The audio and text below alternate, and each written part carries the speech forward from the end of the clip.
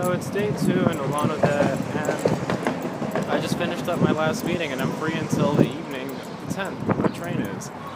So I'm just cruising around the city, scored a, a really nice duffel bag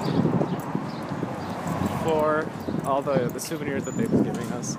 And I'm just walking around the, the town. Well, the city, really. It's a fairly decently sized city.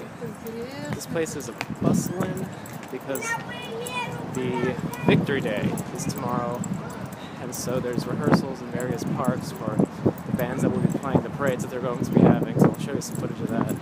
And this is just what the walk looks like.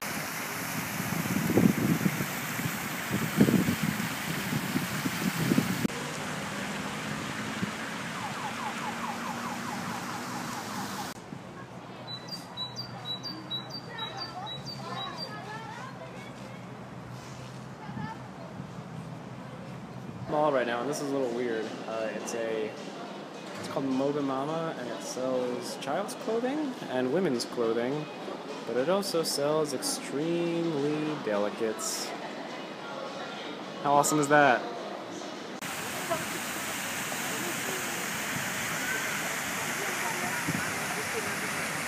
Fountains for days, people.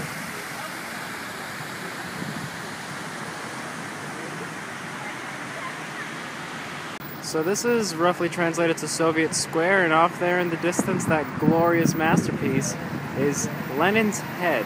If I remember my history right, there's a second matching one elsewhere on the west. Funny little aside, we were passing by this yesterday, and Allison asks, how can they dribble?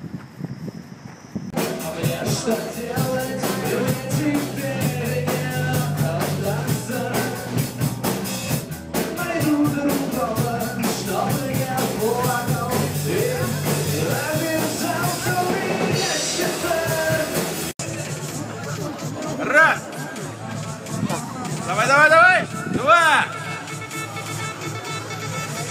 Так, три. Давай, четыре. Пять.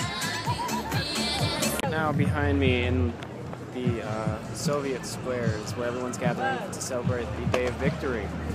And one of the, the customs that they have to do it is doing push-ups. And so they're trying to set a record into, I think, 20-something thousand collectively.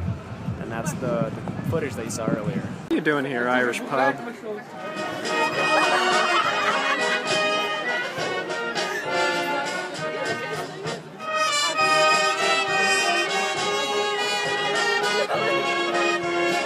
Justin Lewis, you wanted your crazy Russian vehicles. Here they are for the public to behold.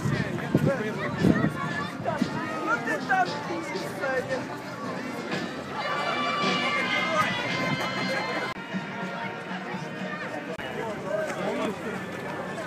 Сюда иди, Клопаков.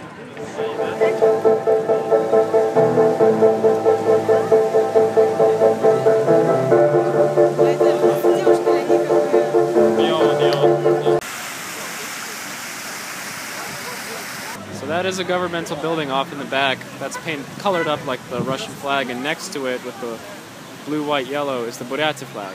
If you're asking yourself what the Buryatia flag is, that's a state in Russia because Russia has states, much like the United States, though considerably fewer of them.